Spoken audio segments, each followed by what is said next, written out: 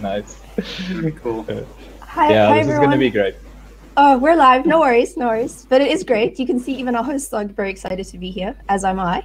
So um, before I hand over to them, I'd just like to uh, give a quick introduction to the Indaba X and, and, and why we're here. So if you aren't familiar with the uh, larger Deep Learning Indaba initiative, which um, has the sole aim of bringing um, and strengthening African machine learning. And the Indaba X is a part of this. It is um, each country hosts their own events. So if you're interested, take a look at the Indaba, uh, the Indaba's website, and you'll find um, all the countries that are hosting their own um, Indaba X's. Uh, it's quite cool with everything being online that there's a good chance you'll be able to um, see events from from many different African countries. And just on note, while we're here, uh, if you aren't familiar, there's the mentorship program, uh, which is open to mentees from the African machine learning community. So we encourage you to sign up. Everything from planning a career to writing a research article uh, will connect you with um, a mentor from our global network, and uh, you will get help in that area. Uh, if you're um, so it is exclusive to African um, mentees, but as a mentor from please, if you're uh, joining us from overseas, we'd love to have you join our network. Yeah, so as I mentioned, um, all the different countries that are hosting the Indaba X's, uh, it really does cover the entire continent. Just like to give a special shout out to the Indaba X team that's been putting this together, along with the entire roadshow that we've had, uh, well, basically the last two months, and we still have a, a whole month of events uh, lined up after this. So uh, be sure to check out the websites and um, have a look there. Uh, if you haven't already, uh, you're welcome to join the community on Discord. Uh, there's a big green button at the bottom of the screen. You can join there, and then uh, you can join in the conversation and um, yeah, meet some very interesting people online. Also, um, of quite a bit importance is the uh, Indaba X Awards. Um, these are everything from uh, coding awards to um, community engagement. So please nominate your friends if you know someone, but also please feel free to nominate yourself. Um, I'm sure you're all doing fantastic work, so um, please, please um, let us know about it. So um, just like to then thank well our host today, but also one of our most gracious sponsors who have their very special prize for extraordinary engagement. So uh, this is uh, basically you can nominate yourself or someone else that is going to extraordinary machine learning in South Africa. Then uh, just just before we I hand over, um, just a shout out to all our sponsors who without without them uh, this wouldn't be possible. So uh, we are um, very grateful for their support. Okay, so that's enough from me. Um, I am going to sign off now and hand over to the team from InstaDeep. Thanks so much, Yvonne. I really appreciate it. Uh, so yeah, first of all, I just want to um, you know say warm, warm welcome to everyone here today uh, joining us for uh, this event. So InstaDeep's version of of the roadshow. Um, but yeah, just before going into any of like what we be offering today, I just really want to uh, send out a huge, huge thanks to the Indaba uh, X team. Um, having been involved in some of uh, organization for previous events, I know it's uh, very time consuming and, and it really takes a lot of effort to, to do this. And uh, the organizing on this has been absolutely amazing. Uh, so I really just want to thank you guys for doing this. And just in general, how important it is for, for us to come together like this for the ecosystem. Uh, yeah, trying to you know strengthen ML in in South Africa, but also you know obviously the global movement uh, across the African continent is really important. And uh, you know from InstaDeep side, we uh, it almost feels a bit like a family event here. Uh, I met Kale-ab at, at an Indaba. Uh, you know, uh, many of you who are connecting here are, are, good friends through through the Indaba network, and um, it's been a really amazing experience to to to grow together in some sense. And um, the the the team here at InstaDeep uh, very much um, you know feels a part of this this family, and and we hope to you know keep uh, investing and also trying to to to join the effort to try and build the ecosystem and try and help and um, do as much as we can to kind of work together and see uh, you know uh, where we can you know, be a benefit and really uh, care about uh, the future that we're trying to create here together. So, um, yeah, thanks so much for being here, and um, we hope uh, you'll enjoy the event. So, what's coming up is Tom is just going to share a bit about uh, InstaDeep, like who we are and the type of things we work on, just for um, uh, those who don't know uh, anything about the, us, but even uh, some some of you have heard about the company, just to maybe get some some insight uh, further. And then uh, Kale-ab has has uh, prepared an absolute treat, I think, of a workshop um, on multi-agent RL and playing StarCraft. So I really really hope you'll enjoy that. Um, yeah, and and thanks for being here. So I'll hand over to Tom now. Great, thanks so much. Um, I think, can you pull up the slides, Kale-ab? Perfect. Um, so yeah, my name's Tom. Uh, great to be here. So I'll just be telling you guys a bit about uh, InstaDeep and giving you a bit of an introduction to the company and some of the projects we're involved in. Um, so yeah, we can go forward with the slides. Next one. okay, Perfect. So, um, InstaDeep's InstaDeep was actually founded in Tunisia. So it's an African ML company, which is very, very cool. And since then, it's really spread all over the world. So we've got offices in the UK, Paris, uh, Tunisia, obviously, Dubai, Nigeria, and then the Cape Town office, which is actually quite a new office. It was uh, opened last year. Um, so, and it's quite a sort of up and coming office in the in the company. So it's very, very exciting place to be.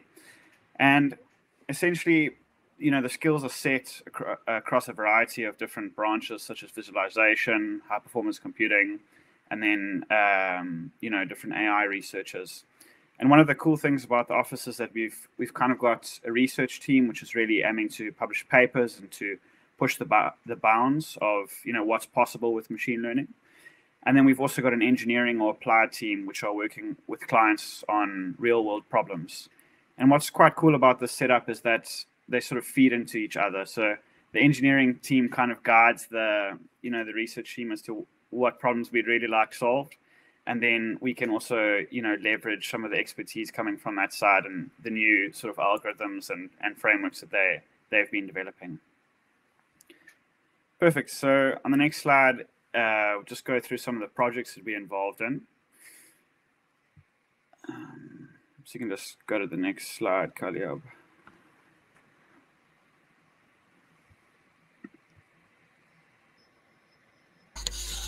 Oh, um, Perfect. Perfect. So we've got a variety of different uh, projects.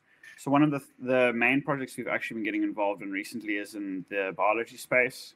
So we've been uh, working with companies like BioNTech to develop uh, novel immunotherapies using you know uh, cutting edge uh, ML methods, and really trying to push the frontiers of you know what tools are available for biologists. And then we're also involved in PCB uh, boards, so that's uh, routing circuit boards, and then we've had quite a long partnership with Deutsche Bahn in Germany, whereby we optimize their train scheduling. And then most recently, something we're very, very proud of, which we're going to be showing off today, is this Mava framework, which is basically the research teams created an open source library specifically designed for multi-agent reinforcement learning. Can keep going. Perfect. So just to dive into a little bit more about our collaboration with BioNTech. So I'm sure a lot of you have heard of BioNTech from the BioNTech Pfizer vaccine. Um, perhaps you have some of that uh, running through your veins as well. Um, so, as I said before, here the goal is really to push push the boundaries of what tools are available for biologists, and using those tools to develop novel immunotherapies. Um, and some of the problems we're looking at at the moment are, you know, a range of cancers and other infectious diseases.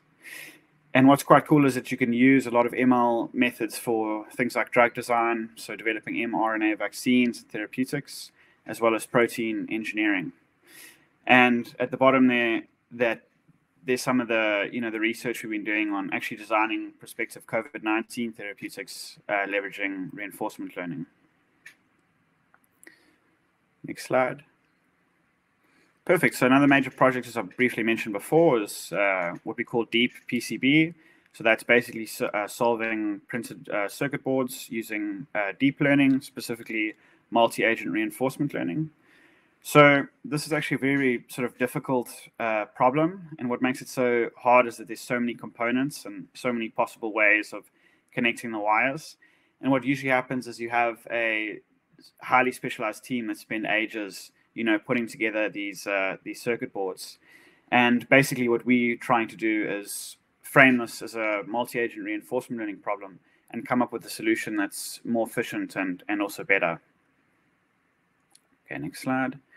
Perfect. And then one of our other long-term collaborations with, is with Deutsche Bahn. Um, so here, the key challenge that we're trying to solve is how to emission, uh, efficiently manage dense traffic on complex ra- uh, railway networks. And this is also a really, really difficult problem because there's many, many trains and many uh, potential routes for those trains. So you really need to develop a solution that scales. And trains break down and there's delays. So the solution also must be robust. And finally, the trains really have to be on time. And in a country like a country like Germany, this is particularly important. Um, they have very different sort of weighting standards than we do. Um, so your solution really needs to be efficient. And basically, how we've tried to tackle this problem is to also frame it as a multi-agent reinforcement learning problem, whereby each train represents an agent, and the trains got to coordinate together to ensure that they arrive on time.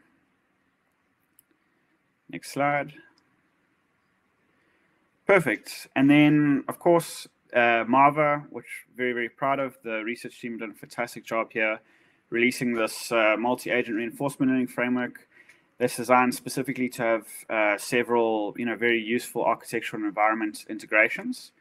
And the whole idea here is that you, it's been designed with research and production in mind.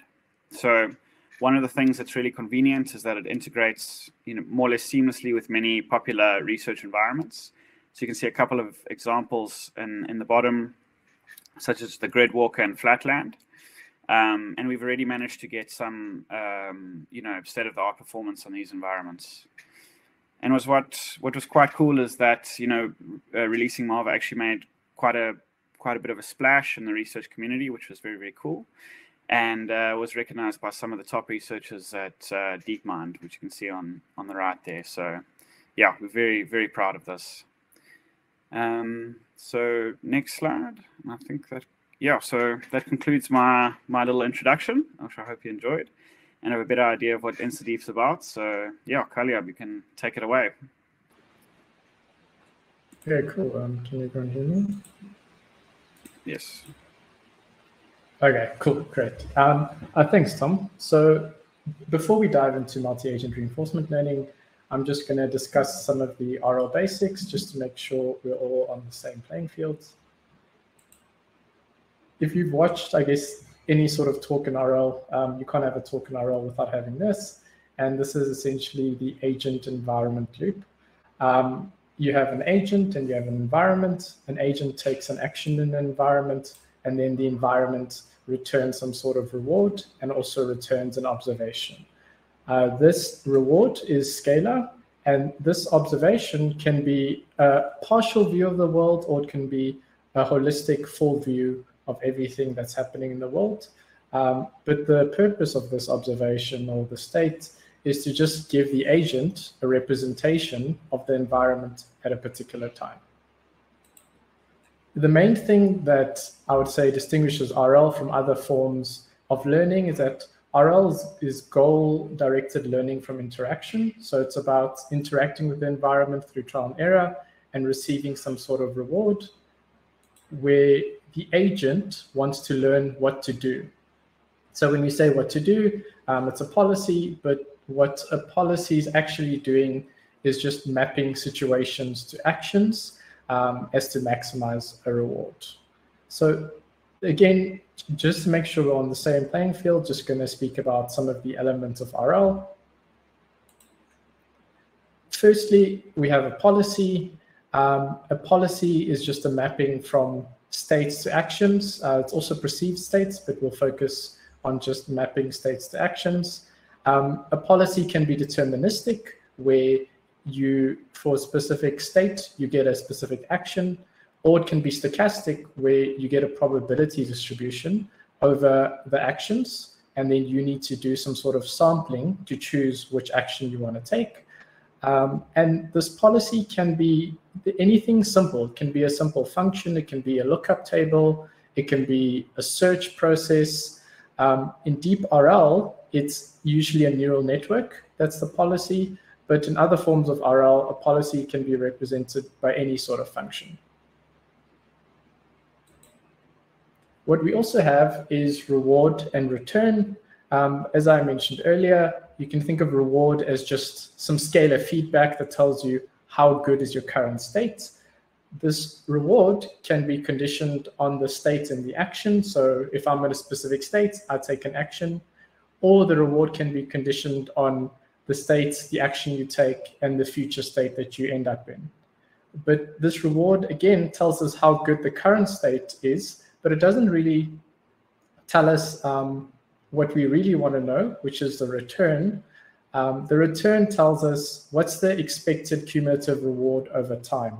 So the, as opposed to how good is my current state, um, what's the total cumulative reward I can expect over the lifetime um, from this state and following a specific trajectory.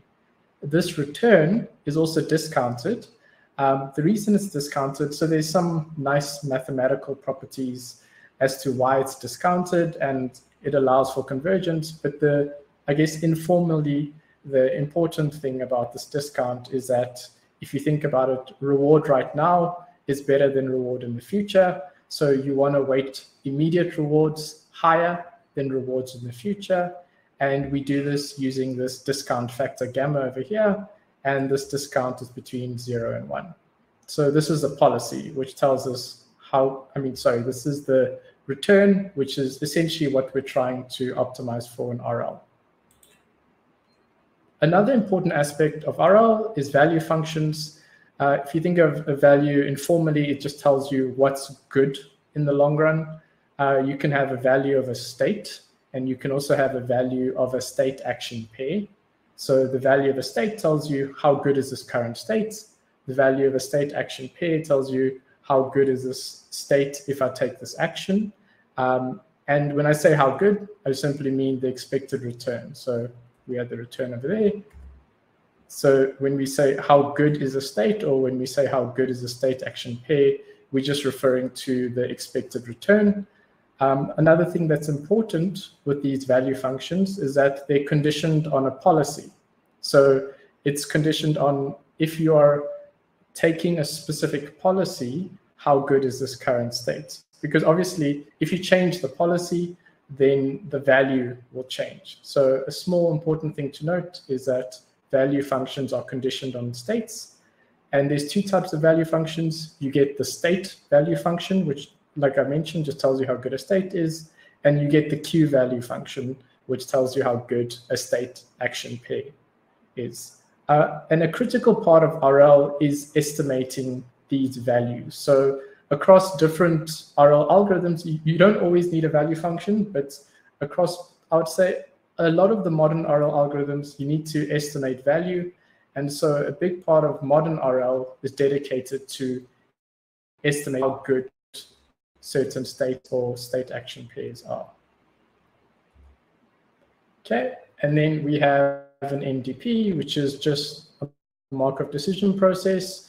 Um, it's a formal way to describe any sort of sequential decision-making problem.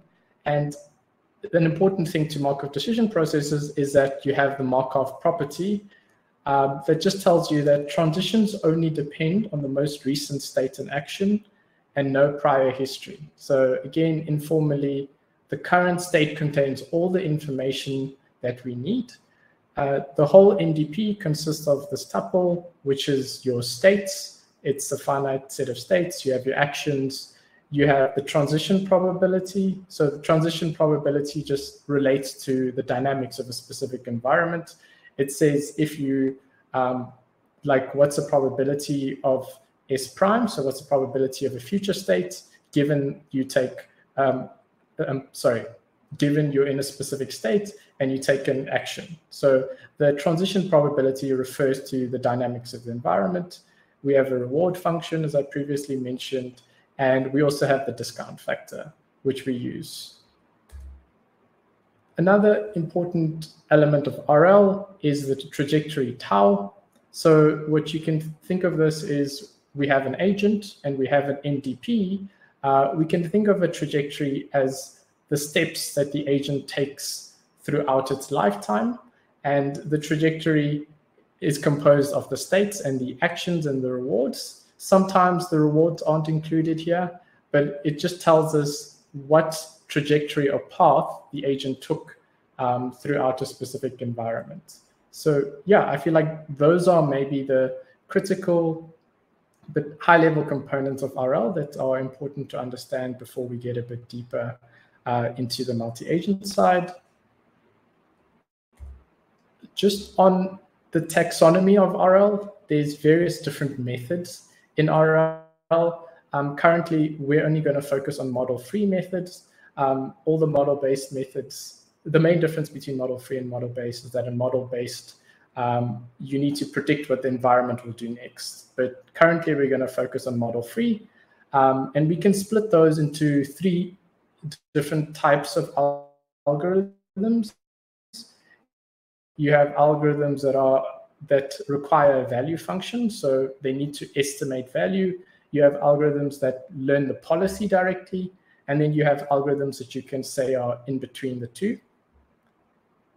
So just to be a concrete here, um, we can split these algorithms, like I mentioned, into value-based methods, policy-based methods, and actor-critic methods. And here, um, the first row separates, or the first row indicates what these methods learn. So if it's a value-based algorithm, we're learning this Q-value function.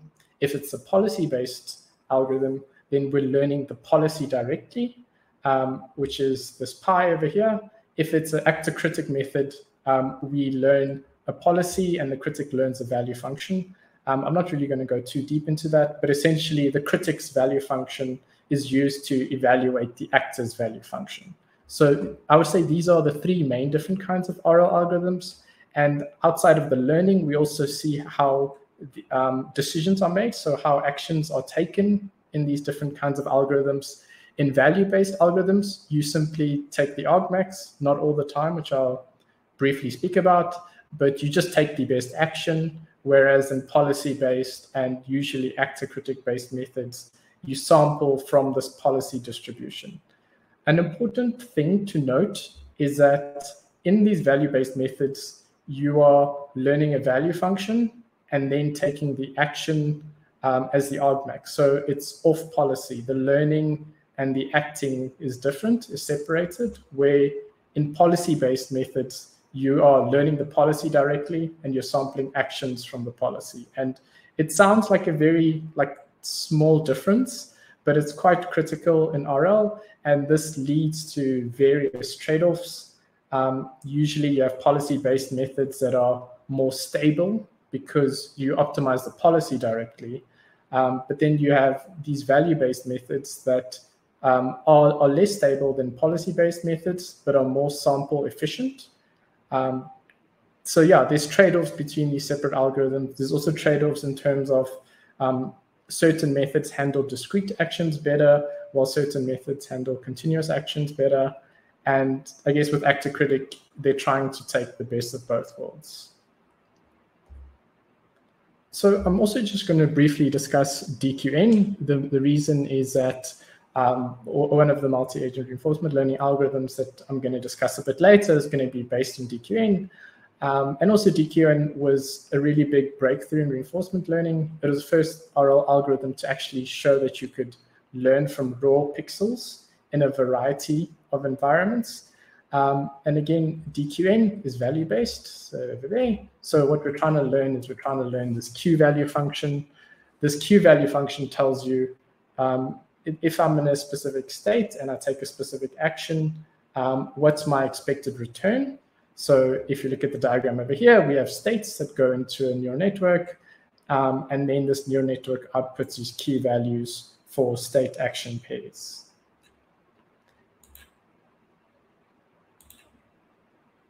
And in DQN, um, I'm just also going to briefly discuss how DQNs do learning. And again, this will relate to something a bit in the future, so that's the main reason I'm mentioning it. But um, the way DQNs learn is that um, you have this predicted Q values. So over here in red, you can see these predicted Q values.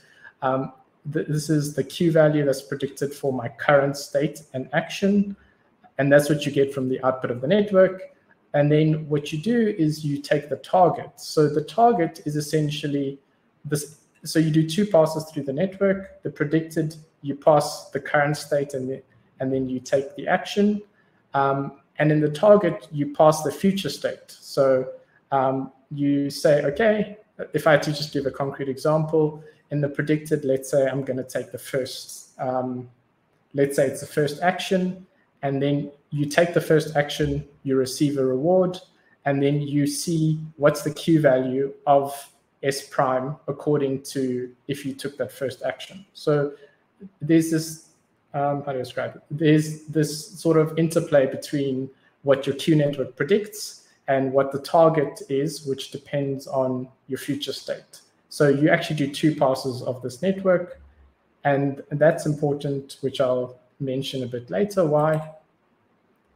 And then the second part that's important is that in DQNs, when you're acting, um, let's see if I can go back. I mentioned that in value-based methods, you usually take the argmax. In DQN, it's a little bit different. Um, and not just DQN, but in methods that do epsilon greedy, you don't always take the argmax. Um, you have this uh, you have this epsilon, and based on this epsilon, you decide, am I going to take um, the best action or am I going to take a random action?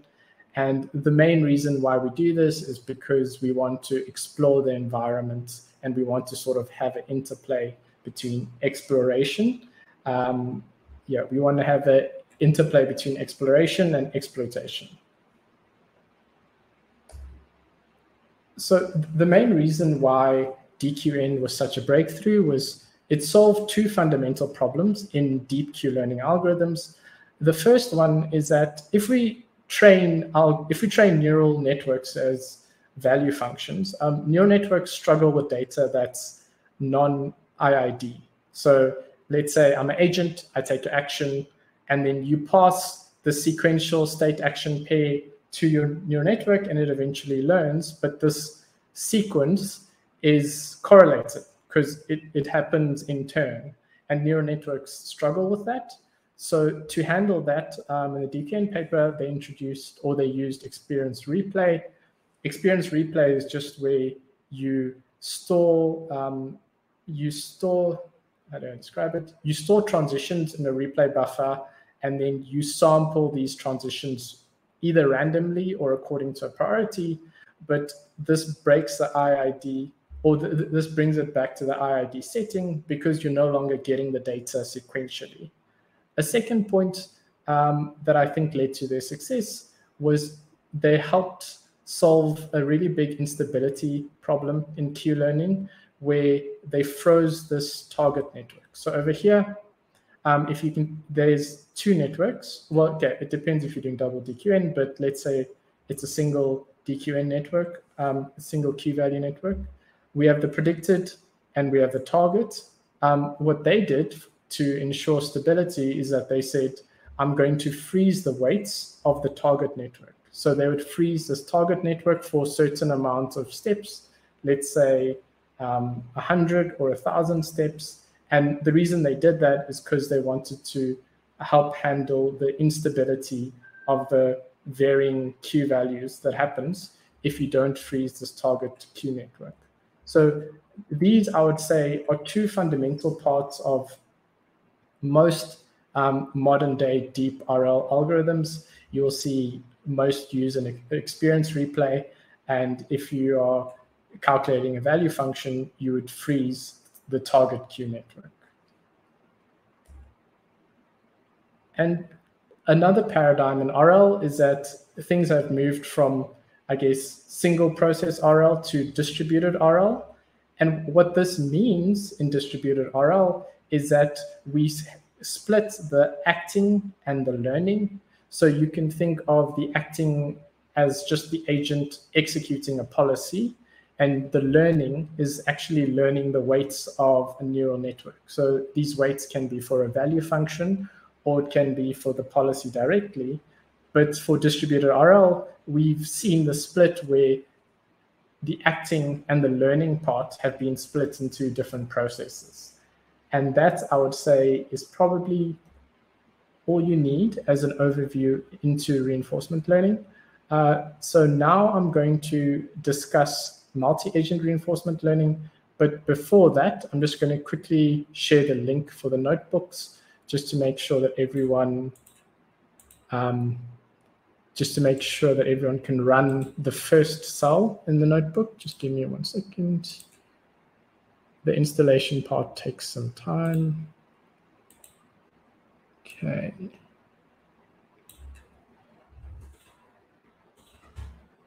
So I'm just going to post it in the comments. Hopefully it is open. I wanted to have it on a GitHub repo, but uh, it didn't really work out right now. Okay, so if you guys could go onto that um, Colab instance, I'm sure you can log in, and if you can run the installation cell. So that installation cell will install StarCraft um, and do various other things that we will need. Um, it does take some time, so that's why I'm um, urging everyone to do that now. So give me a second. Okay. So now I'm going to continue my talk, but, but just a reminder to everyone, um, please go into that link, um, open Colab, and run that step one, which is installation cell, which installs StarCraft. Now let me. Cool. Um, and I think I'll take um, questions at the end. So if you have questions, please do ask them, and I'll answer all the questions at the end. So now that we've had like a brief recap of RL, the next part is multi-agent RL. And it kind of leaves us with an important question, like why multi-agent RL? And I think one of the driving principles for this is that multi-agent problems are everywhere.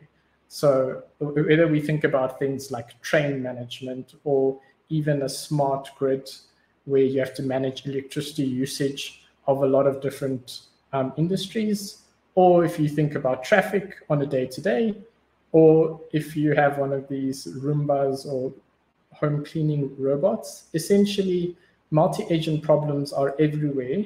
Um, it's just currently a lot of the time they model the single agent problems.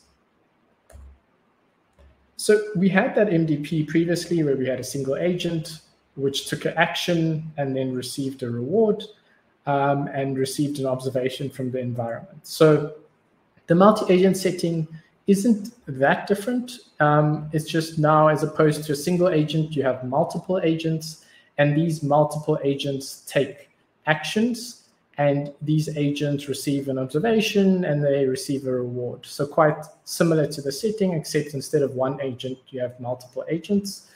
And there's a lot of different um, considerations when doing multi-agent reinforcement learning which actually affects whether these rewards are shared, whether these observations are shared, which I'll briefly discuss. The first thing is the reward. So if you have multiple agents, um, the setting depends on the type of reward. So if you have a cooperative setting, you'd have a shared team reward. So if your agents are working together to do some sort of task, you'd have a cooperative reward. Um, if you are doing a competitive setting, if your agents are actually competing against each other, then you have um, individual adversarial rewards where your reward, um, like you getting a high reward, uh, depends on other agents getting a low reward. So you have these individual adversarial rewards, um, and then you get mixed where it's like a combination of those rewards. So the setting depends on what sort of reward you can expect.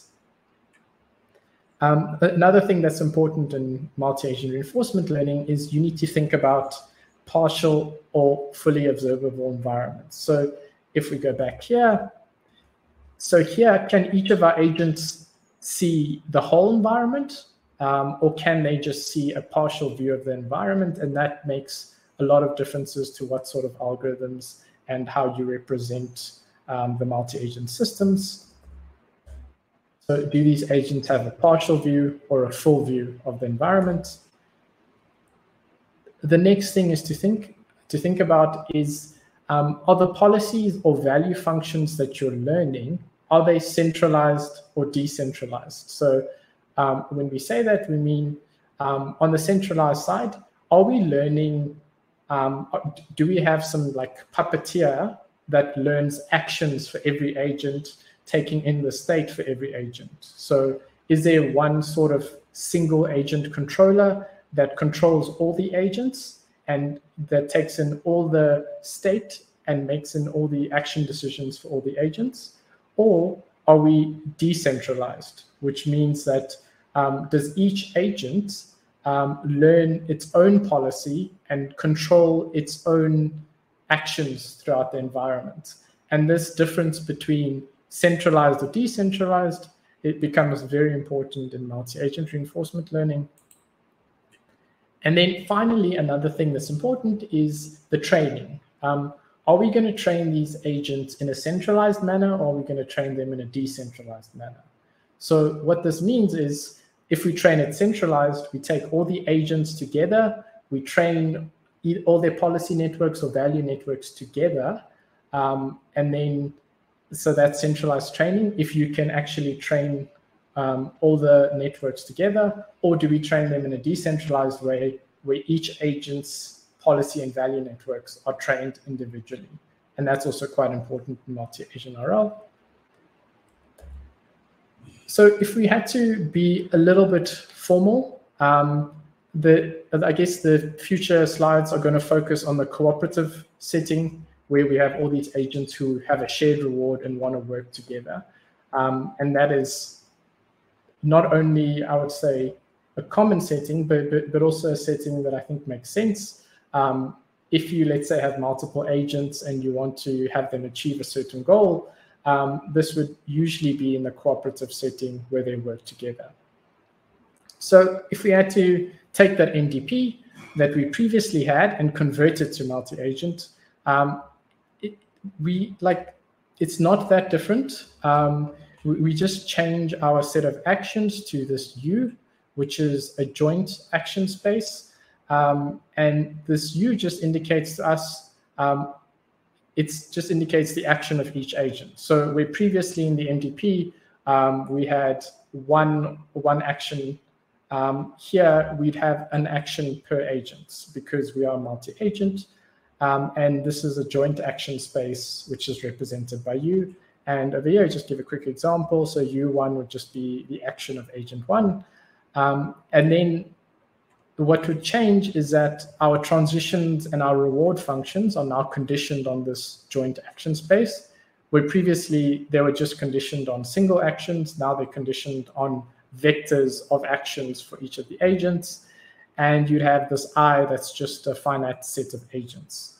Um, and so it seems very similar to our previous MDP, and it's equivalent actually to an MDP with a factored or high dimensional action space. So what I mean by that is um, if this was single agent um, and we had an action space that was represented as a vector of, let's say, three numbers, um, this would be equivalent because there's nothing fundamentally multi-agent about this. If we have an action space that maybe has is is made up of four variables, then everything else is conditioned on that. Um, it's still quite similar to, I would say, a single agent MDP um, with a high dimensional action space. And, and that's, I guess, the main reason why a lot of people move away from this setting and choose this DEC POMDP, um, which is a popular formulation of multi-agent reinforcement learning the main differences with this is that firstly, um, like firstly our MDP is partially observable. So what this means is that the observations, every agent can't see everything. Um, the observation is conditioned on the state. Uh, I'll give an example of this in the next slide, but the observation is conditioned on the state and the index of the agent I. So we have, let's say, a whole map. Um, what you can see is dependent on which agent you are. And that is, um, I guess, what relates to the partial observability of the DEC POMDP.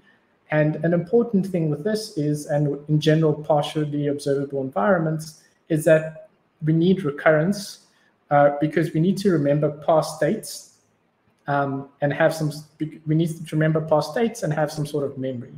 So if you think about it, if you are in a map and you can only see, um, let's say, a grid block, as you move through that map, um, if you can't see what's in front of you or if you can't see what's behind you, you need some sort of memory to remember, okay, um, I previously walked in the specific region and when I was here last time, there was maybe a door or there was maybe an obstacle. So in partially observable environments, uh, it's quite important to have recurrence and memory so that you can remember when you can't see the full state of the whole environment. And with recurrence, uh, so yeah, the, the first part, partially observable, it's also decentralized. So what this decentralized means is that each agent learns their own policy that they can execute themselves. So this tau over here just refers to the trajectory of a specific agent as opposed to the trajectory of all the agents. Um, and then each agent learns a policy. Um, so this pi i just says it's my policy for a specific agent. Um, this UI is just the action for the agent, which is conditioned on the trajectory of the agent. So what decentralized means is the agent learns a policy based on its own action observation history um, and sometimes it's not all the time in DEC POMDPs, you actually take the whole trajectory as opposed to taking a single state. And what, what that means is you lose the Markov property and there's some other considerations you have to make when you do that. But this is what it doesn't happen all the time, but what ends up happening is you condition on the agent's whole trajectory. So the next, I guess, question from that can be this decentralization. Um, why can like why do we do it? Why must the agent learn its own policy? And I guess there's two sort of reasons. The the first one you can say is um, there's natural decentralization. So if you think in the real world, um, systems are sometimes naturally decentralized. So if you have sensors, or if you have individual robots, or if you have individual cars, um, the state the system is in is in like a naturally decentralized state. And then the second type of decentralization is when you, as the designer, impose this decentralization. So you say, I'm going to force my agents to have a partial view of the globe, uh, of the global state, and I'm going to force them to learn their own actions because I want them to act individually, um, as opposed to having that, um, as opposed to having them um, work decentralized and act decentralized. So if we had to give an example in StarCraft, um, just about, I guess, the partial observability and the decentralization, on the left-hand side, you have the global state. You have the whole map, everything that's happening. And then on the right-hand side, you have the observation. So each agent can only see within a certain radius and each agent acts individually. Um, it executes its own policy um, over time, as opposed to learning this global policy or global value function. And now if we think about how do we train these multi-agent reinforcement learning systems? So the I'll discuss a few paradigms, but the popular paradigm is centralized training and decentralized execution. But let's just go and explain the other paradigm, which is decentralized training and execution. So if we look at this diagram, imagine we have three separate agents. Uh, each agent learns um, its own theta, so it learns its own weights, and these weights can be used for a policy or a value function. So here, each agent, um, the training happens decentralized, so we, we don't train all the agents together, and the execution is decentralized because these agents learn their own policies and they learn their own value functions. But the problem with this is, is that um, I guess this leads to some of the fundamental problems in multi-agent reinforcement learning where this leads to non-stationarity. So as an agent is acting and learning an environment, other agents are also acting and learning in environments. So independent learning makes it quite difficult for the agents to handle the environment because you're not the only one learning, the other agents are learning. So independent um, methods uh, where you either learn uh, independent like Q learning or independent actor critic is quite difficult because of this non-stationarity, um, because basically all the agents are learning. So it's hard to learn while other people are also learning in the environment.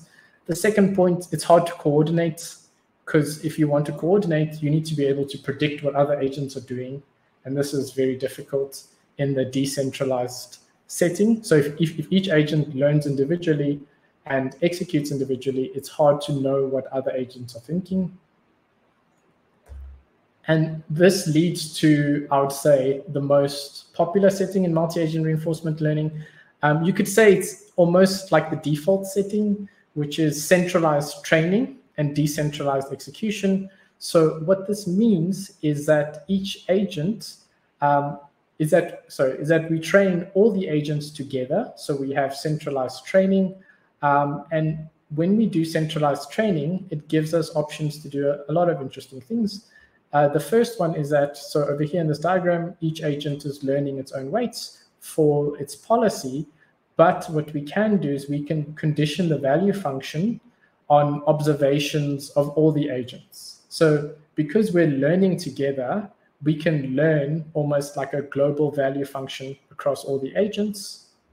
And this, I, this global value function helps the other agents figure out and handle these problems with this decentralized training. So if you have um, a global value function across all the agents, you can handle things like non-stationarity. You can also better coordinate uh, your movement through the environment.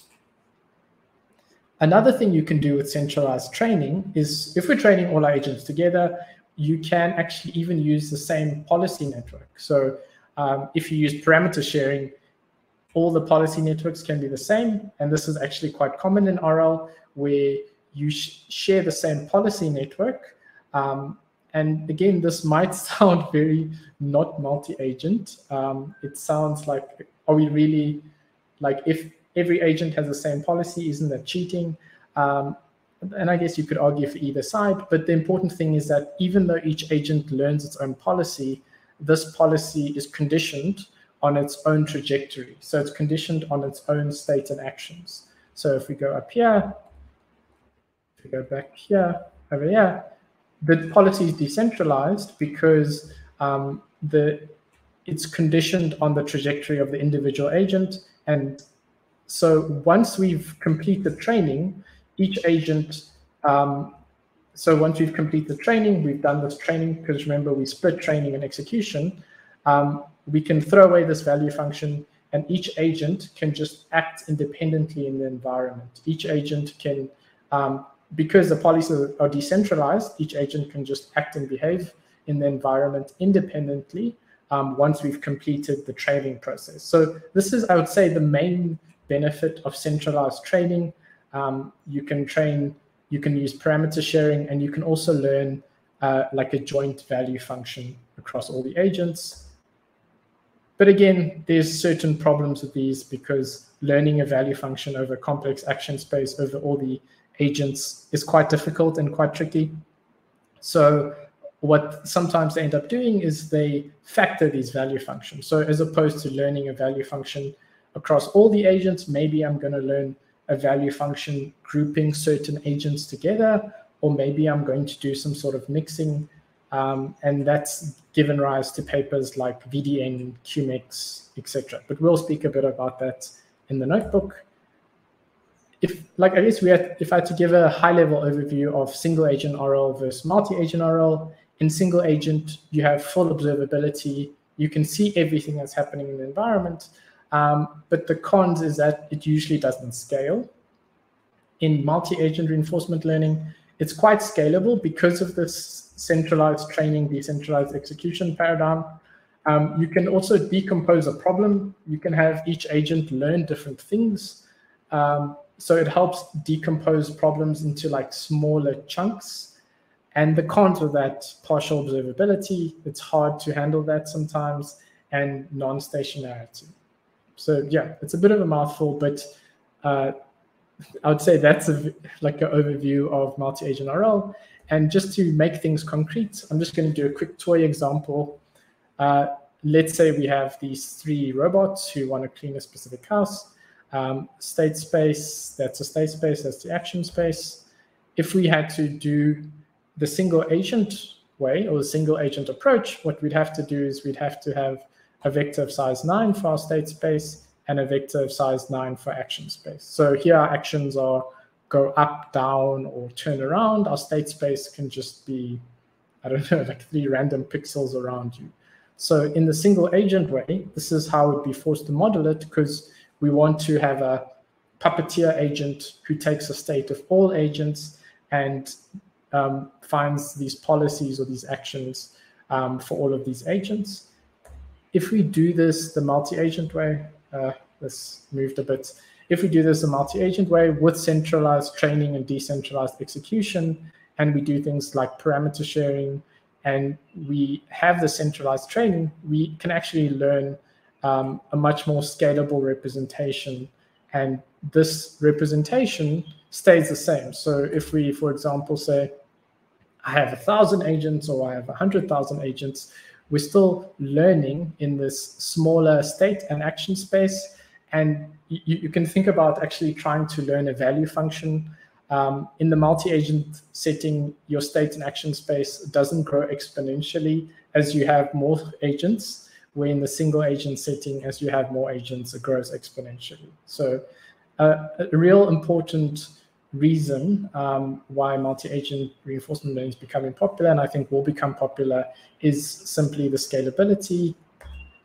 And there's a lot of other aspects in multi-agent reinforcement learning. There's learning emergent behaviors. There's um, learning to communicate, which is actually really interesting, where um, you have communication channels between the agents, and you these communication channels are differentiable, so you can learn to communicate between agents. You can also learn cooperation in um, cooperative settings. How what's the most effective way to cooperate with each other, and you can also have agents modeling other agents. Um, like trying to think of what's the motives behind other agents taking certain actions. So there's a lot of different aspects into multi-agent reinforcement learning, and it is growing into, I would say, a very popular field.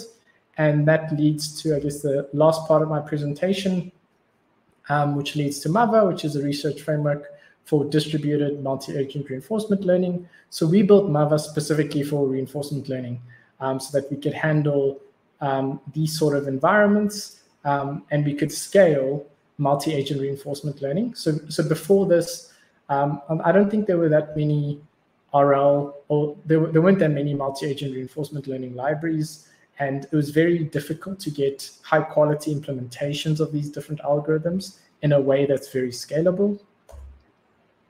So the Mava design in a nutshell is, as you'd see in this diagram, we have these executors so, so what an executor is, um, you can just think of it as groups of actors. So let's say I have three actors. An executor is just groups of actors that um, execute policies in a specific environment. So previously we had, uh, it's going a bit far back, we had actors where the single actor which takes an action and you had a learner. In Mava, we have the concept of executors, which are multiple actors.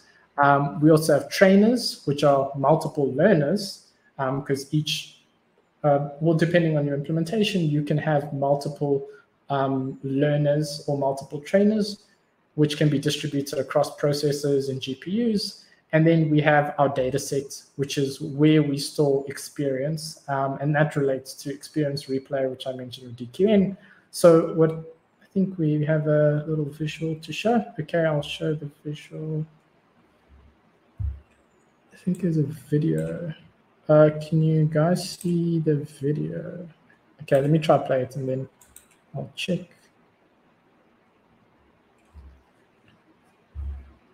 Let me check the.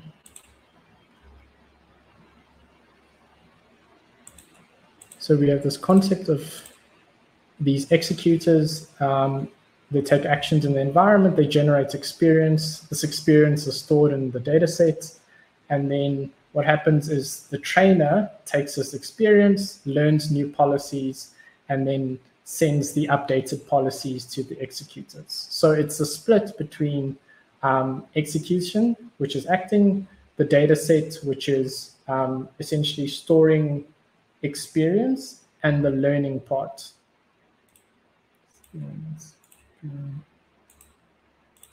Okay, that's Mava in a nutshell. And yeah, just the main aspects of what Mava brings to the table. Um, it's designed to be flexible for research and production. It integrates with a lot of popular RL frameworks such as Acme, Reverb, Launchpad. Um, it's open source, so you guys can see the links. Um, it's actively developed. Um, we have a team of maintainers. Um, we also have like constant upgrades that are coming in, so that's a benefit. And it's also built with scaling in mind for real world applications and for multi-agent real world applications, which we think is going to be um, a big part of, I guess, the future of reinforcement learning. We've also achieved like state of the art on certain environments. These, this is multi-walker. The goal is to just get these three agents to um, cooperatively move this pole together and we achieve state of the art in this specific environment. Okay, uh, yeah, sources, questions. Now it's time for questions before we get to playing some StarCraft. Uh, so we have two questions. I'm gonna sure. um, try to see if we can get um, Umair on screen. Um, otherwise, perhaps you, in the meantime, you can answer Martha's question, which is the first one.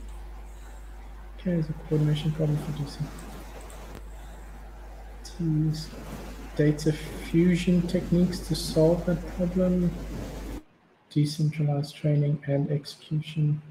Um, data fusion techniques. I'm not really um, aware of data fusion techniques. Uh, Marta, can you just elaborate when you say data fusion techniques?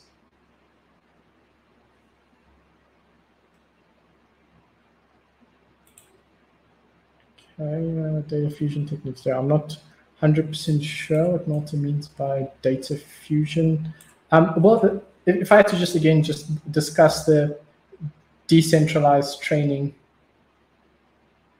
um, so Dries replied, okay, so if I had to just discuss the decentralized training, if you're decentralized training, you can't um, use information to update either the policy or value functions of other agents because you're decentralized. So um, like Dries's comment, um, when you say data fusion, combining data sets from different agents, um, yeah, so I, I think like just to answer that question, I'll maybe just wait for clarification on data fusion. But important thing with oh, uh, sorry, and Martha's just added um, that she means to uh, ways to combine data. Ways to combine data. Okay. Um, again, in decentralized training, um, you can't really combine data in the training side because it's decentralized. Um, so I'm not really sure in decentralized, so if you do decentralized training and decentralized execution um, without any sort of communication between the agents, is no real way to combine data. So is it possible for data fusion to solve the problem? I don't think so. Um, if you want to get decentralized training and execution working, I think it, it's a hard problem, but you would need to model other agents and you need to model what are the intentions of other agents and I think that is very difficult.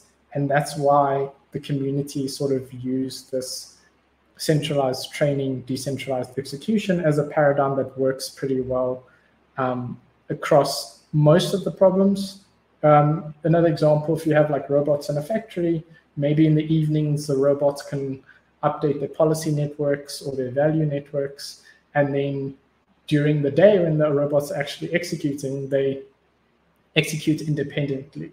So it seems that this centralized training, decentralized execution is like a good framework um, to handle multi-agent reinforcement learning and a framework that's actually possible to make progress. Cool, I think that's that question. Uh, should, should I answer the second question? Yeah, I think let's go for it. So that'll be Umair's question. I'll read it out. Uh, do you think evolutionary algorithms can somewhat increase the exploration ability of the single multi-agent system? Hmm, let me think about that. Increase the exploration ability. Um, it's a hard question. I'm not sure. So I guess if you're doing evolutionary algorithms, you're not doing RL. Uh, Siobhan, I think there's a bit of playback on your side. Oh, that's my bad. I'm sorry. I'll mute now. No worries. Just weird hearing yourself. Um, do you think evolution can increase the exploration ability of single agent, multi-agent systems? Um, I don't think so. Um, I, I, think like evolutionary algorithms and like things like genetic algorithms are very like different in like when compared to RL, because RL you have a goal and you have this concept of interacting where in evolutionary algorithms, you have like a fitness function and you have these like um, mutations and these combinations of chromosomes. So do I think evolutionary algorithms can increase the exploration ability? I'm not sure how they would, um, because like usually in RL, um, let's say in DQN, you model exploration and exploitation by using um, by using this epsilon, and I guess you could maybe try and use evolutionary algorithms to learn this epsilon. Um, but yeah, I'm not 100% sure um, how evolutionary algorithms can be used to increase the exploration of single or multi-agent systems. Okay, cool. Yeah, I think I think Therese covered the, the other questions, so um, I think we can carry on with uh, the next part of your, your presentation. Okay, cool, great. Now demos are hard, so let's see. Um, just firstly, was everyone able to access the link on Colab? Um, uh, not sure. Okay, then, then I, I think I'll just continue with the presentation. Let's connect. Just need to unshare my screen quick.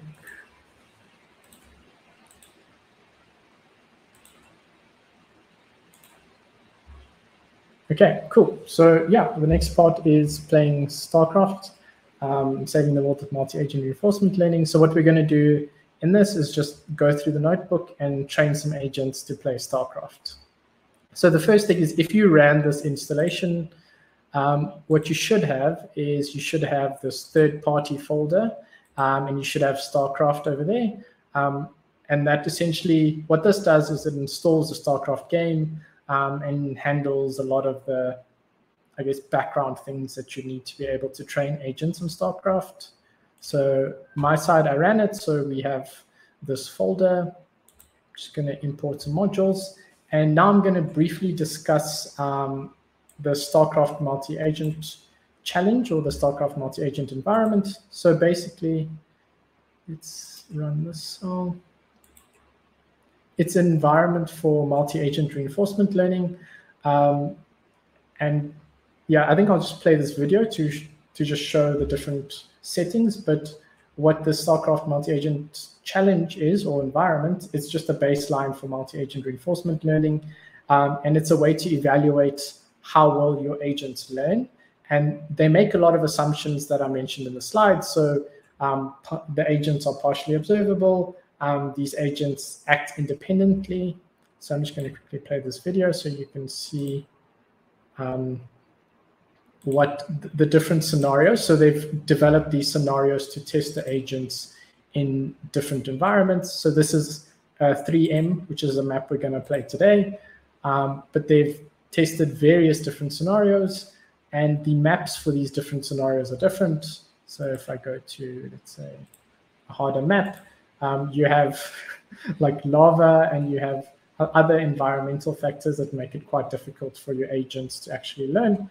Um, the cool thing about this is if you're on Windows and Mac, you can actually see the replays and see um, what your agents look like in the game. Unfortunately, because we're on um, like a Linux-based operating system on Colab, we can't see um, the gameplay videos, but we can see um, we can see these animations that showed what happened in the gameplay.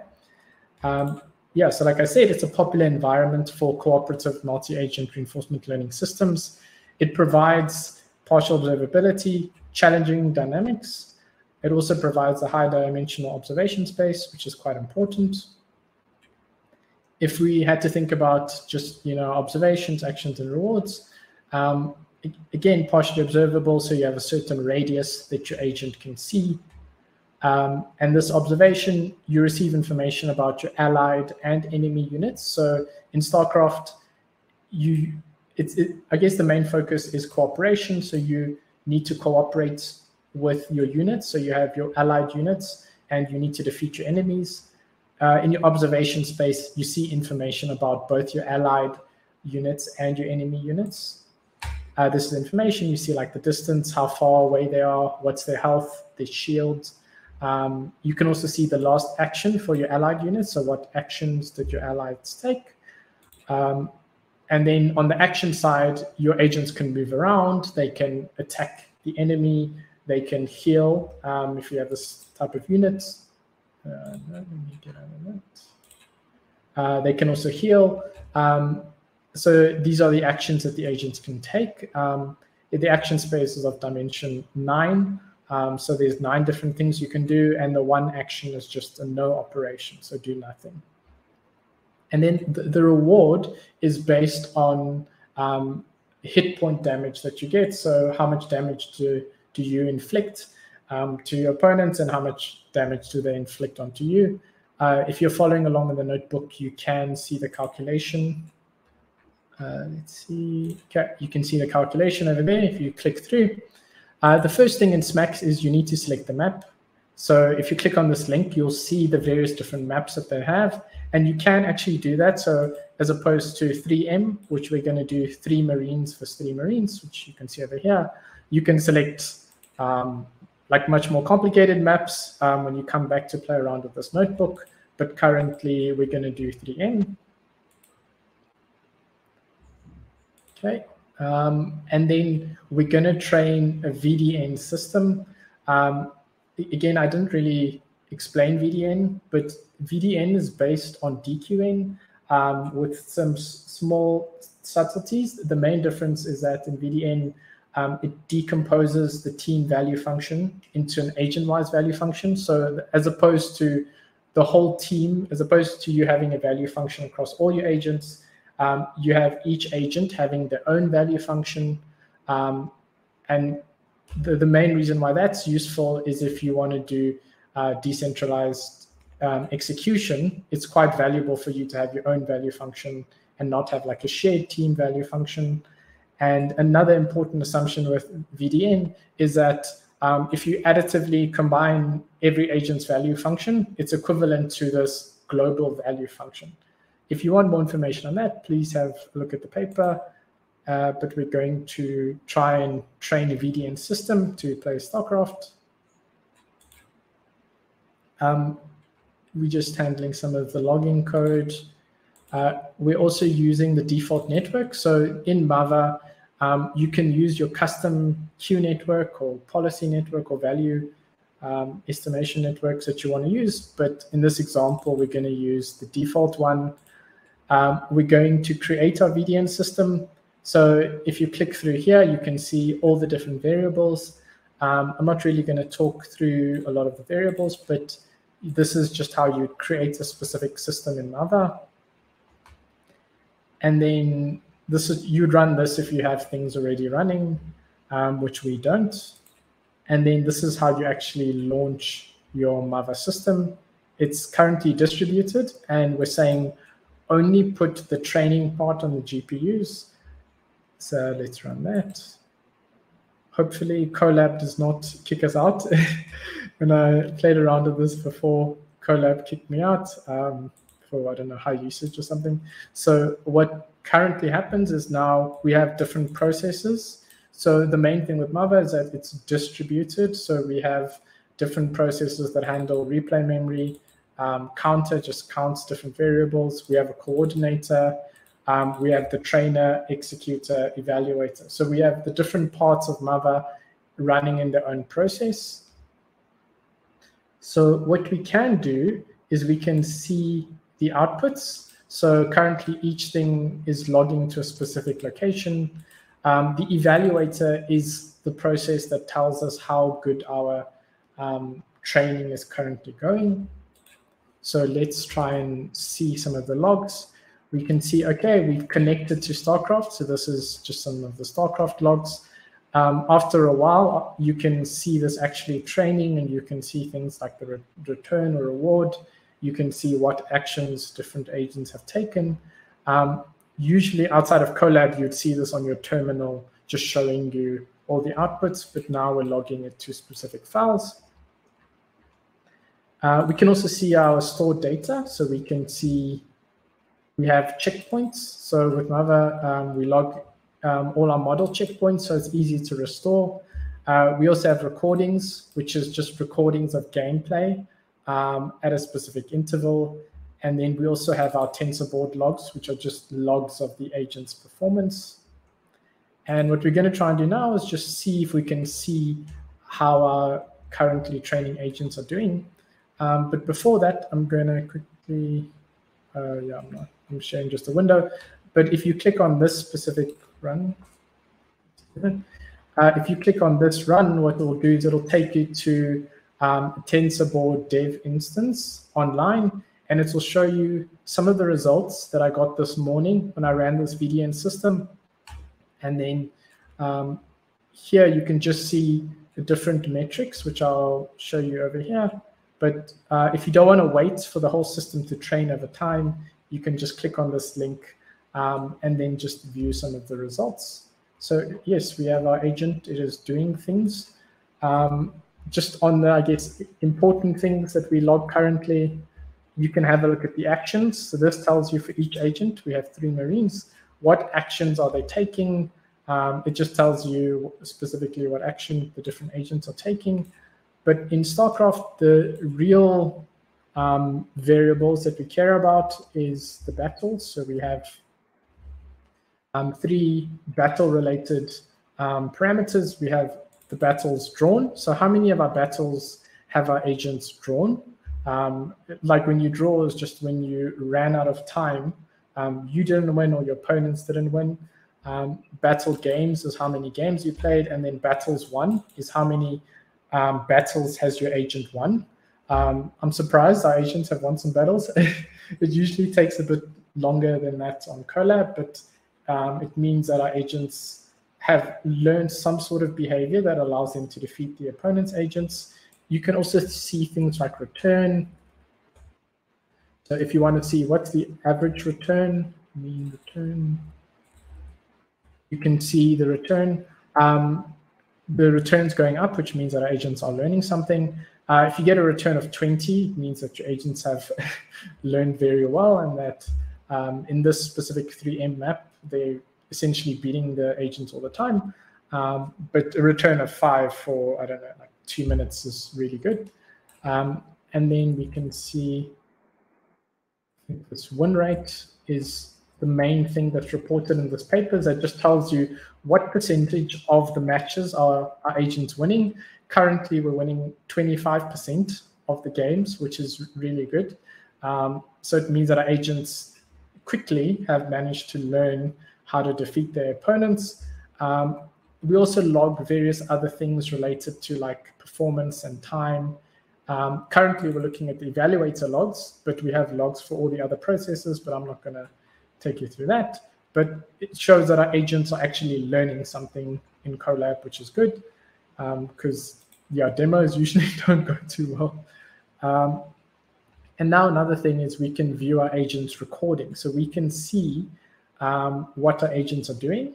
So I'm just going to show some examples of what poorly agent, agents, what poorly trained agents end up doing is they end up doing basically just running away. So this is from a previous run. These agents just run away and they hide in the corners. Um, and because it's partially observable, the other agents really can't see them that well. Um, so this is when the agent hasn't really been trained that well. But then if you train your agents and they've learned some sort of behavior, you can see the emergence of certain things. Um, things to look out for is things like focus fire. So focus fire is just when all your agents focus their fire on a specific um, specific enemy, um, because that's an efficient way to kill the enemies as opposed to everyone sort of shooting randomly. Um, you can also in some of the other maps, you learn formations based on the armor. If you have stronger armor, maybe you should be on the front. Um, and then also you learn um, you learn tactics like making the enemy units chase you while you're running away. Um, there's a lot of like interesting um, tactics that emerge after a while. But if you see over here, the, this focus fire is just an example of the system that's learned focus fire.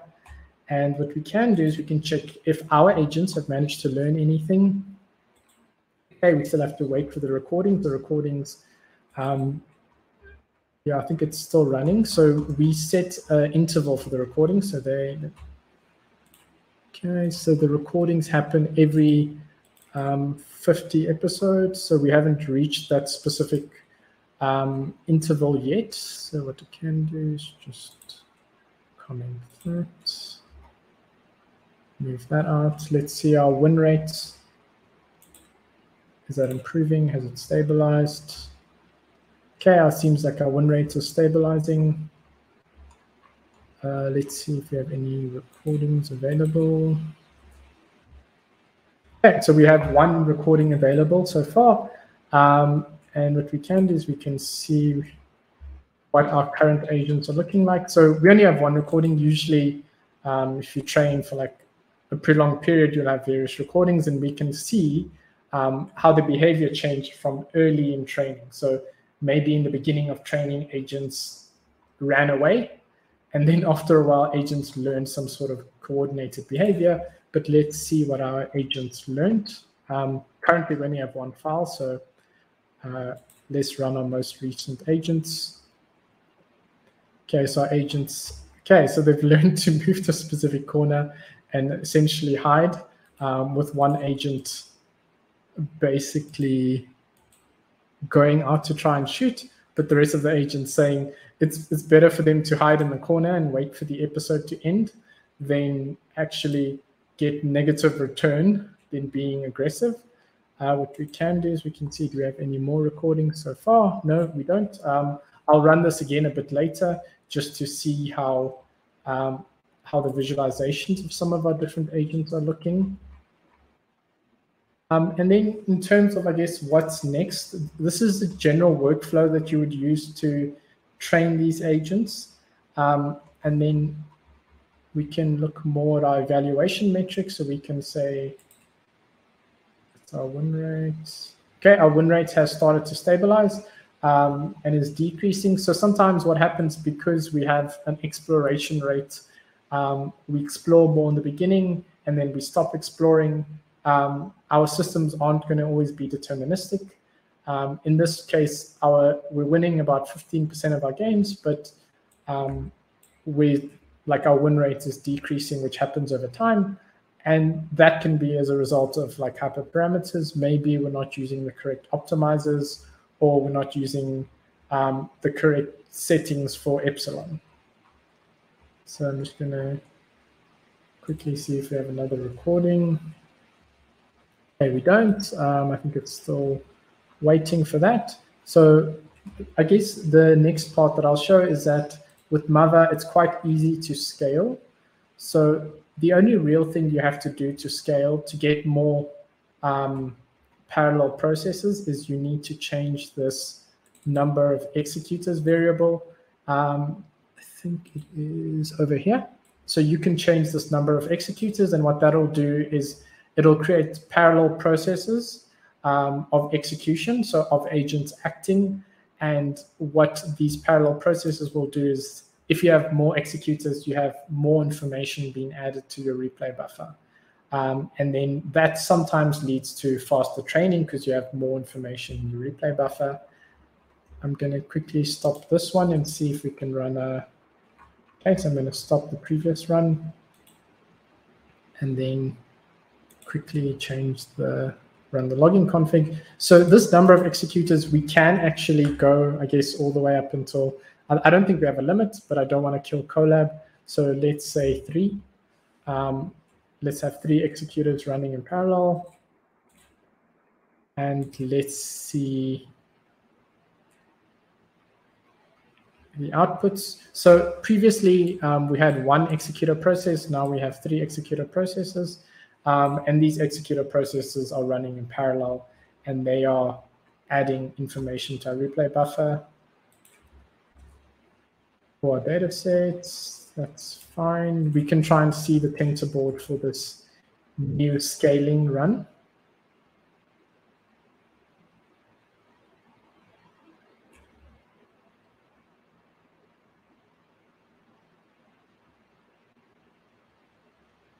It a few seconds. Okay, let's just give that a few seconds. Actually, think.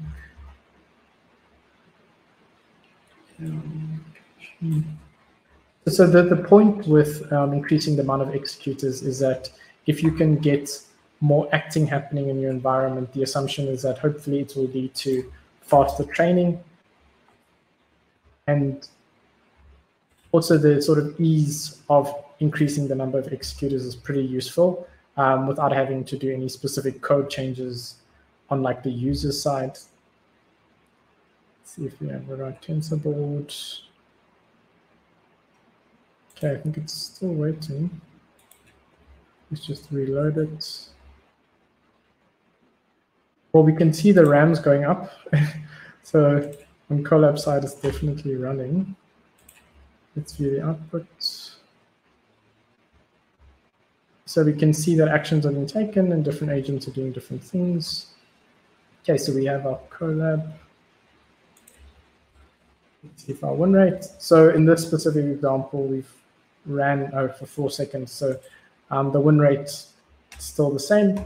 Um, it hasn't really improved, but after you run this for a specific amount of time, um, what we hope to see is these agents train faster and converge faster um, than using a single executor. I'm going to just stop this run and then go on to like what, what else can you do with these systems? What different hyperparameters can you try?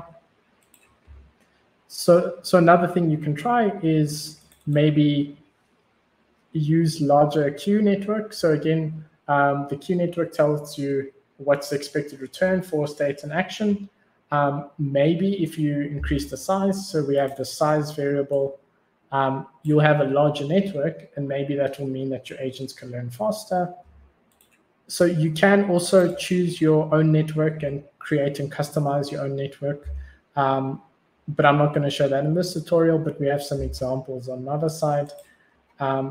So in this case, we're just going to increase our policy size. So previously we had, I think, a two-layered network um, with a hidden size of 64 by 64. Now we have three layers um, that are quite big. And you can also do interesting like optimization tricks. Like let's try use learning rate decay. So here we're using learning rate decay. Um, and we are using SGD, where previously we used RMS prop. So just trying different sort of optimization techniques to try and get this running uh, and to get this training a bit faster. Okay, so that's running. And again, we'll wait some time for this thing to um, to get all the results and log to TensorBoard. Uh, while that is running, um, I think I will like be open to any questions um, and just in general, I'm pretty open to maybe trying different variations. Do people have maybe things they want to try for the epsilon exploration or any other of these interesting variables on the VDN side? So let's see if there's questions. Cool, I think everyone is good. Uh, yeah, I don't think there's um, been any questions, but maybe we can wait a minute to see if anyone posts. Cool. Um, I do see that Dries answered a specific question. Uh, multiple computers at once across the network. That's a good question. Um, yeah, like Dries said, it is on the roadmap um, for us to train across multiple computers. now we're currently training across, um, like we're doing this in Colab, and we're training across different processes in Colab, um, but we haven't, um, we, it's on our to-do list, but we haven't added multi, like node training across different uh, compute instances. Um, I think that's definitely on the to-do list. Let's see if our agents are learning okay. Okay, so in this case, they are learning. Okay, still about 50 seconds. So usually to train agents on um, this 3M map, I think with this configuration probably takes about half an hour. Um, so I think usually in the papers and stuff, it can take a few hours. So I, I, think this is more of just up to people to play around with, maybe try different hyperparameters um, and try and see how fast they can get these agents to train. Um, like I said, a score of about five for the return. So score about of about five for the mean episode return is pretty good. Uh, we can see here we're getting um, a score close to that. Let me just make that full screen. So we're getting a score pretty close to that, which is around four and a half. And eventually what that usually leads to is currently we, we've drawn some battles. Um, we haven't won any, but after a while you end up winning a lot of the battles because you've learned um, this emergent behavior that I mentioned above. And yeah, so again, we have a lot of different examples on using different systems, using different environments, different architectures um, on our GitHub page. So please do um, have a look at the examples there. Currently, I think we just have to, I guess, wait to see if our agents are training. Okay, here we've started to win some, which is good. Um, so agents are starting to win maps. Okay, so agents are starting to win. If we look at our win rate, should be better than zero. Okay, so our win rate has moved to about 15%, um, which is good, which means we're winning about 20% of the battles that we currently have. Uh, what I can do is quickly see if we can visualize what those agents look like. So let's see if we have some new recordings. Okay, let's see.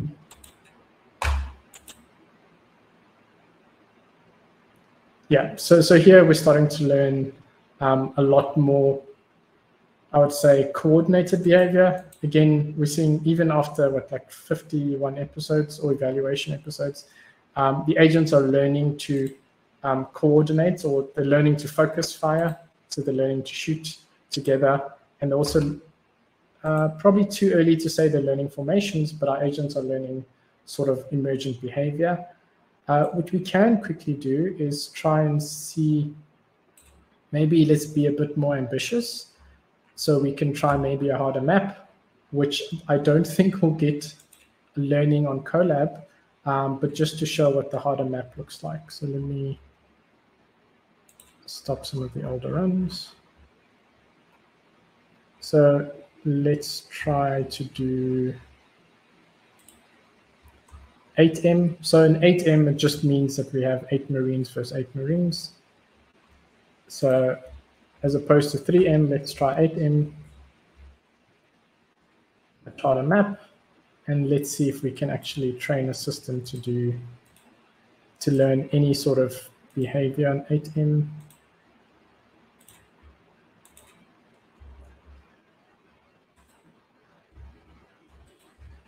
Yeah, that's probably going to take a while to run, but um, we will make this notebook open source. So at any time you can try some of the harder maps. So there's certain maps of 27 units and where the kinds of units um, aren't homogeneous. So currently 8M just means everyone's a Marine, but in some of these other maps, I can quickly play this, you'll see that there's different unit types. And then with different unit types, there's different um, like problems in terms of coordination. um, because of the different state and action space. So I think, let's see if our 8M has actually managed to train anything. Unlikely because the, the 8M is really difficult, uh, especially if you're running it on Colab. Um, okay, but I guess we'll have to wait on that side. Um, I think for now, I'll check questions, see any posts. Okay, I think that's it from my side. I'll just do a quick check to see if our 8M has maybe learned something. And then I'm open to questions or like any sort of discussions on multi-agent reinforcement learning. Okay, let's see if we can visualize our agents.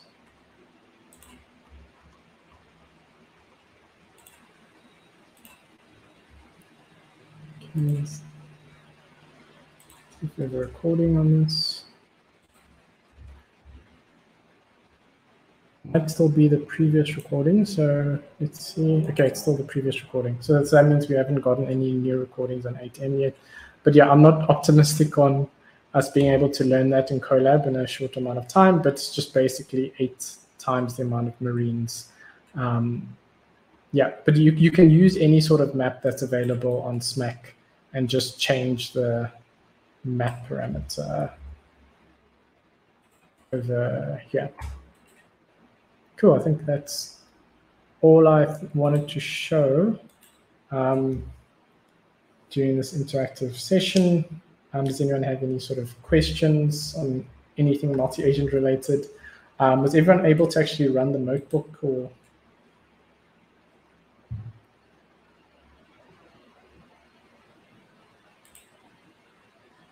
Uh, the question, let me ask, are there many maps with base building elements and not just units? So um, in SMAC, uh, they do, I can't remember how they refer to it, um, but it's only unit level management. Um, so they they don't do, I guess, macro management like managing of resources and building.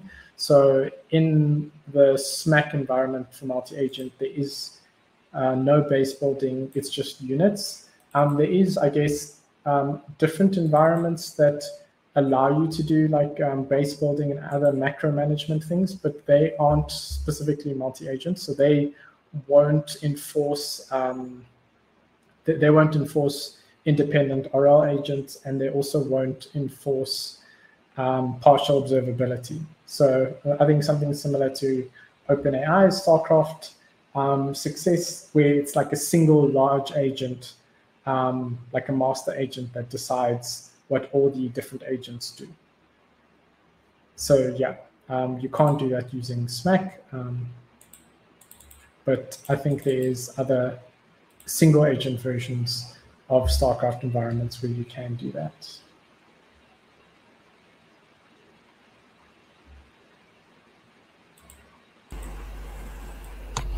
Um, I'm just seeing if um, Steve can come on screen. Um, Sure, Otherwise, I'll sure. read the question out.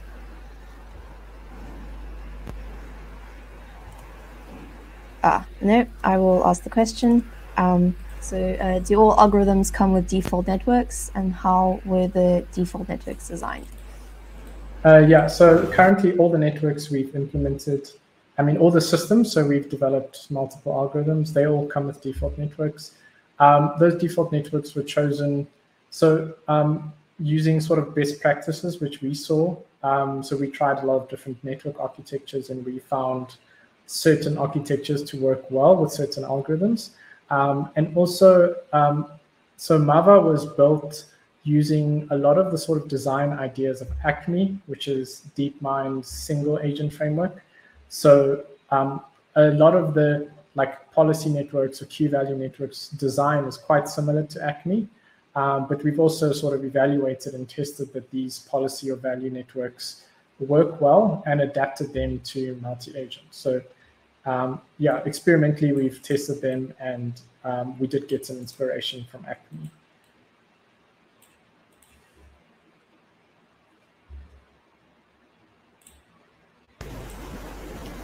Fantastic. Um, I think oh, I think that is the end of our questions. So Okay. yeah, I'm just gonna um, lead a round of applause. It's just me you can hear, but I'm sure everyone's clapping. Thank you um, very much for your time today and to the whole team. It was a, a lot of fun and yeah, super informative. Um, and it's all recorded, so you can always just refer back to the video if you need help. Thank you very much. Cool, great. Thanks, thanks for having me. I had a bit of load shedding before this, so Oh. there was a bit of a rush to make it, but hopefully everything made sense and yeah, hopefully it was useful for everyone watched. Yeah, I- don't think we would have noticed. It was yeah, very smooth. So thank you very much. yeah. Okay. Yeah, I'm gonna um, end the session there. Uh, if you have any questions, you can uh, send them on the Discord channel, um, and uh, yeah, we'll we'll do our best to answer them. Thank you so much, everyone. Okay, thanks everyone.